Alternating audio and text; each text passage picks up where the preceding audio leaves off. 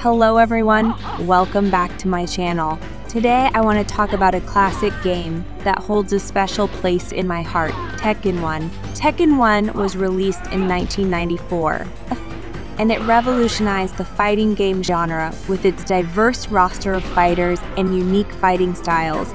From the powerful strikes of characters like Kazuya Mishima to the lightning fast kicks of Nina Williams, there was a fighter for every playstyle. One of my favorite things about Tekken 1 is the depth of gameplay.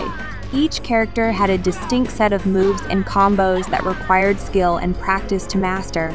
I spent countless hours honing my skills with my favorite character, Law. Playing Tekken 1 wasn't just about winning matches.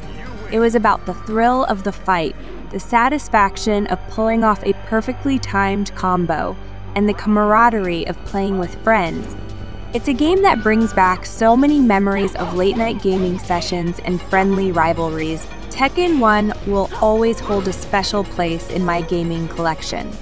Its engaging gameplay, diverse characters, and lasting impact on the fighting game genre make it a timeless classic that I will always come back to. Thank you for joining me on this trip down memory lane. Don't forget to like, share, and subscribe for more gaming content. Until next time, keep on gaming.